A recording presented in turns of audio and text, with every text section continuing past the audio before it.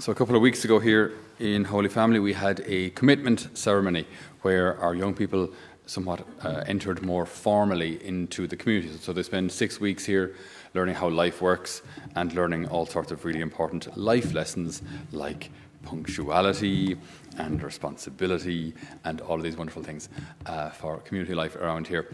And what was interesting was, um, normally it, it's, it's, it's a semi-formal kind of occasion. Well, it's, formal, it's a formal enough kind of occasion, really. And uh, uh, what's interesting is when, when, when the girls get ready, right, when the girls prepare, it's a big thing for girls. There's talk about it for days beforehand and probably days afterwards as well. Whereas the lads, um, they, they shower and that's kind of it. But the girls, what's interesting though, what, I found really interesting is just, you know, I'm always kind of a, an observer here. I'm always observing everything that goes on around Holy Family. And uh, what's interesting, interesting was uh, to see the girls who have curly hair, for that occasion they have to straighten the hair. The girls with straight hair, for that occasion they have to curl the hair, right? And uh, you know, it's just, it's just it's just interesting. Like th- those then who have a kind of a, maybe a more like tanned complexion, they're trying to look paler. The girls who look kind of more pale are look, trying to look more tanned, and it's just it's just really interesting. And then actually, if you think a little more globally as well, how this works uh, as regards beautifying oneself globally in in countries where people would have a naturally darker skin, uh, like in Africa or Asia. The darker you are, that was considered to be lower class. Why? Because you were a worker. You were outside digging the ground. So paler was prettier. That's why you know I think of the Japanese, the the typical Japanese lady or whatever it would be, is actually quite pale you know, because it was a sign of being more upper class. Uh, it's just very interesting, very interesting. Anyway, let's, uh, let's not get uh, all uh, sidelined by Yves Saint Laurent and uh, all of your makeup things.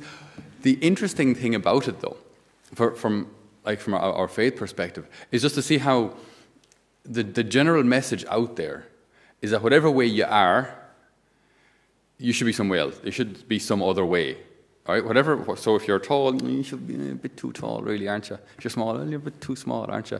If you're pale, a little too pale, aren't you?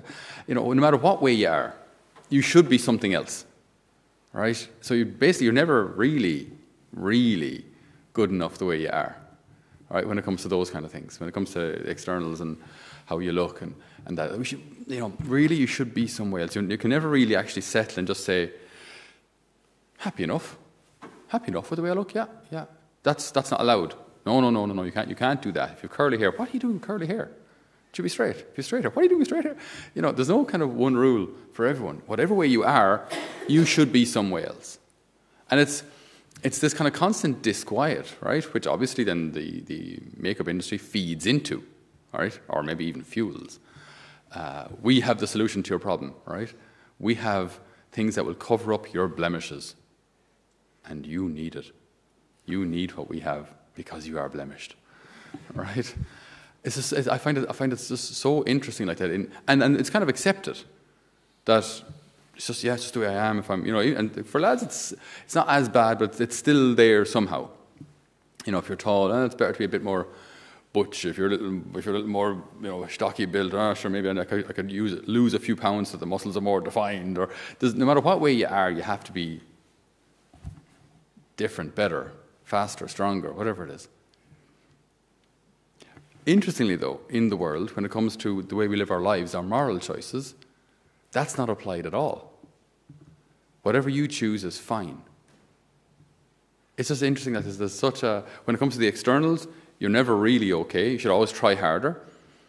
But uh, when it comes to the interior life, the more important things, it's fine. It's all grand. Doesn't matter. Doesn't matter. No consequences. Where in the Lord's eyes, it's, it's the complete opposite. So how do we how do we balance how do we balance these two? Because in the external, unimportant things, you know, it is important to some degree that we make some sort of an effort to be presentable. Okay? Right. I may or may not like comb the side parting in every day. There you go. Presentable. Um, so it's, it's good to make some sort of an effort, and yet at the same time, see, the, the spiritual life is all about balance. Okay, it's not that you're hideously ugly and nothing can help you, and it's not that you know just believe that you're drop dead gorgeous and it's all fine. you know, like, yeah, there, there are things maybe I could do to improve, but we're grand. Like, you know, I'm happy in myself. And in the spiritual life, it's very similar. It's not that we're being beaten down all the time, you're a sinner, you're a sinner, you're a sinner, you're a sinner, but yet at the same time, we should realize and recognize that there is more I can do. So it, it, it's a balance. It's not all one, it's not big dirty sinner going to hell, or it's not we're all going to heaven anyway. Bo- both, both are wrong. Both are wrong. The, the truth is, is in the middle or somewhere. We, we are imperfect, we do make mistakes, but the Lord provides all the grace we need. Wherever sin abounds, grace abounds all the more. So we, we do need God's help, and He's more than ready, willing, and able to give it. So then there's always hope. So then we, we live in a reality. I don't try and convince myself that I'm perfect, that I'm, that I'm a saint already. I'm not. But I do know that I'm, I'm, I'm trying, and God's grace is, is sufficient. God's grace is enough. Okay? So like when we read in our first reading today, the Lord is not being slow to carry out his promises, but he is being patient with you, wanting nobody to be lost and everybody to be brought to change his ways. He wants everybody to come and change their ways. This season of Advent, it's a season of preparation. So it's a season where, again, if everything was already done, then Advent would be useless. We're trying to prepare our hearts, not just, again, uh, as we mentioned before in previous weeks, for the entrance of the Lord into the crib, or for the entrance of the Lord into the world historically, that's all wonderful. But for the entrance of the Lord into my life, see, if this was already done, we wouldn't need Advent, we wouldn't need Christmas. But to prepare my interior life, my heart, to become a worthy dwelling place for the Lord, to become a place where God can come and live, where God can come and transform me from within. This this does need preparation. So I recognize this, this, this balance. Um, you'll forgive, forgive me if I use this word, it's a word that St. Faustina uses a lot. Uh, but to recognize our misery and to recognize God's mercy and keep them both there. I need God, but he, he is there, He does forgive me, and His grace is sufficient. But I need Him, but He's there. So it's both. It's not we're all going to hell, or it's not, we're all going to heaven. That's just madness, right? It Says, I need help, and God offers it. I'm not perfect. God makes up for what I lack. And that way, I can actually be happy being me. I'm, I know that it's not that I'm kind of, I'm, I'm not perfect, but I'm good enough. I'm lovable as I am. I'm lovable and I'm loved. So every time we, we see a crib, every time we see a cross, every time we see a crucifix, we are reminded of how much we are loved. You are lovable. We are lovable. And this, this might seem maybe obvious to, to a lot of you, and hopefully it is. Hopefully it's obvious. Hopefully I'm preaching to the converted here. But uh, this isn't really the case with an awful lot of young people, where they do not believe they're loved as they are. They do not believe they're good enough as they are. They do not believe that they will ever be loved or lovable ever, by anyone. This is epidemic out there. This, this sense of lovelessness. I can't actually be loved as I am, or I have to be another way in order to be loved.